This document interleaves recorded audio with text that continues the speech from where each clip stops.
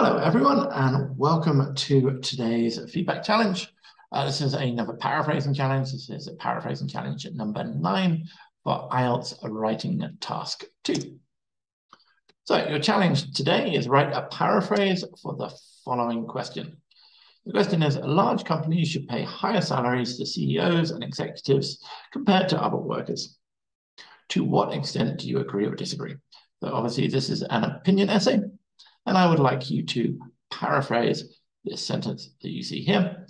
Remember, the best paraphrases change sentence order. They don't just look for synonyms. So if possible, try and change the order around, maybe try and change uh, prepositional uh, phrases around. Um, for feedback, I will be giving feedback in a week's time. So that gives everyone a week to work on this.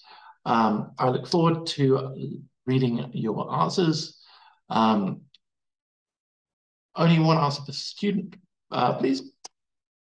Uh, please remember, if you uh, would like your work to be reviewed, just hit the like button. Uh, share this with anyone you think might find it useful. And don't forget to subscribe to the channel so you don't miss out on any content. It really helps us keep providing this free content. So thank you so much. Good luck in your studies, and I hope you're all having a great week.